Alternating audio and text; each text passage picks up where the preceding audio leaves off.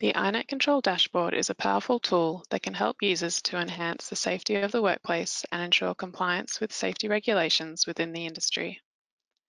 To view your dashboard on iNet Control, log into your iNet Control account. From the landing page, select the dashboard from the top menu bar. The iNet Control Dashboard provides a real-time overview of your gas detection program, including the performance index, usage and settings, alarms, and equipment. The first metric on the iNet Control dashboard is the Performance Index. This measures the overall performance of your gas detection program. It is calculated based on a variety of factors, including gas detectors used without calibrations, time spent in high alarm, gas detectors used without bump testing, gas detectors turned off while in alarm, and many more. A higher iNet Control Performance Index indicates that your gas detection program is performing well and that you are actively taking steps to protect your workers from hazards. In this account, you can see that the performance index has a score of 83%. Users can understand areas for improvement by examining the factors that have reduced their overall performance index score. To do this in greater detail, click on the Attention Required link.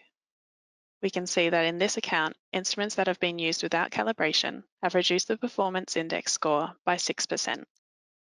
The iNet Control Usage and Settings section of the dashboard provides users with information about how gas detectors are being used. In this account, there have been several alerts that have occurred within the past three months. We can see that this has been broken down into different descriptions. For example, there are 185 counts of gas detectors that have been used without a bump test in the three-month period. You can change the timeframe by simply clicking the drop-down arrow and selecting the desired timeframe from the options available. There are two ways in which we can review these alerts in greater detail. The first is by clicking on the graph icon, which in this case shows that there was a large number of instruments that were used without a bump test on the 30th of July.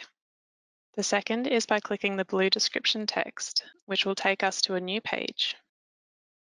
This page provides us with details of each instrument that was used without a bump test. The next section of the dashboard is the iNet control alarms. This provides you with information about all the alarms that have been triggered in your gas detection program within a selected timeframe. The information includes alarm date and time, alarm gas type, logged peaks, and alarm duration. Similar to the usage and settings section, these can be viewed in greater detail by clicking on the relevant blue text, which can aid in compliance requirements such as incident reporting.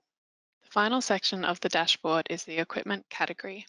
This section is a valuable tool for managing your fleet by providing users with a real-time overview of all the gas detectors in the fleet. This includes available upgrades, failing or marginal sensors, new instruments, delays in docking station uploads, low cylinder notifications, and more. Users can delve further into the instruments that require action by simply clicking on the description text. For example, in this account, there are 46 instruments that require a firmware upgrade. To view a list of the serial numbers that require a firmware upgrade, simply click on the blue description text. Now we can see a list of all the serial numbers that can be upgraded and we can action these directly on the page. iNet Control is a powerful tool that can help users improve the safety and efficiency of their operations. We encourage you to take some time to learn about its many features and how to best use them. If you want to learn more about how to get the most out of the iNet Control platform, the team at your local Air-Met Scientific office are happy to help with any questions you may have.